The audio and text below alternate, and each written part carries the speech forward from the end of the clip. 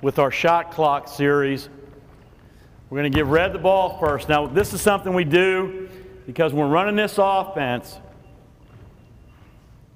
there's a lot of times that the shot clock is going to be an issue, and we've got to be comfortable going into single digits on the shot clock. Now, the rule that we play with, we're just going to run our action, and I'm going to try to call out and help you recognize things as we see it. But we're going to run it, and we will take backdoor layups at any time during the possession.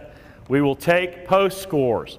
If we can throw it to the low post and we make a good post move, we'll take that basket and we'll take any inside out three. So if we feed the post and we cut and we get a kick out to a wide open step in three, we want to take that. That's the next best thing to a layup for us.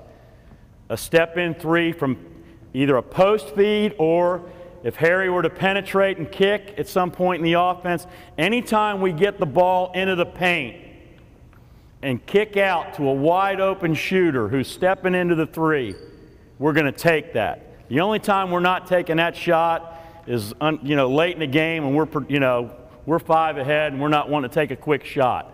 But normal game situations, we are taking that shot.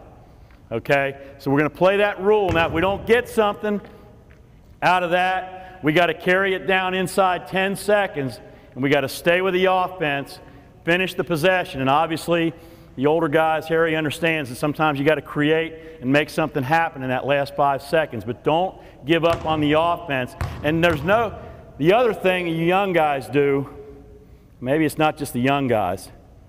When the shot gets to nine seconds, if you've got the ball, the rule isn't that you have to shoot it.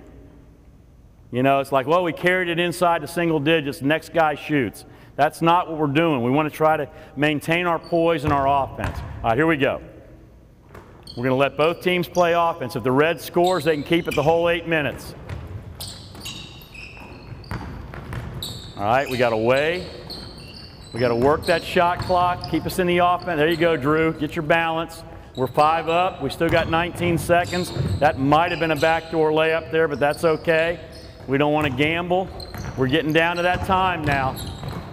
Again, we don't have to panic. Good take. Trey has got to make that shot. All right, here we go. Go with it, White. Even if he got fouled, we got to finish that. That's the layup drill we're working on. We got to start making that shot. All right, White.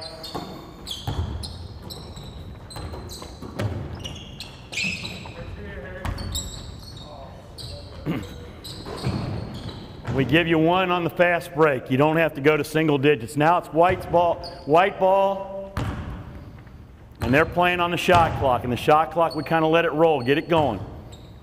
Kind of get it at 30 where it's going to be by the time you bring it up.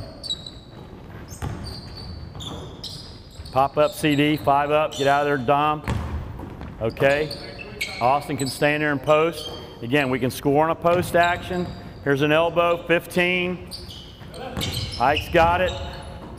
Now we're getting down to single digits. Try to stay with it. All right, we threw it away. Go, Red, go. They threw it away.